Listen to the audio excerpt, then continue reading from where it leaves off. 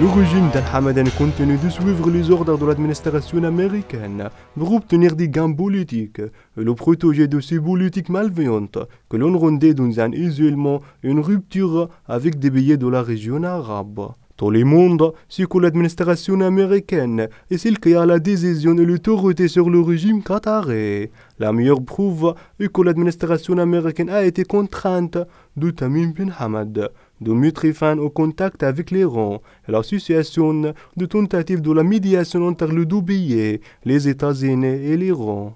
CNN a révélé la raison de la participation du chef du gouvernement d'Al-Hamadain au trois sommets en Arabie Saoudite, malgré que Qatar avait envoyé des délégations représentatives au sommet tunis en Arabie Saoudite, depuis le boycott arabe du Qatar.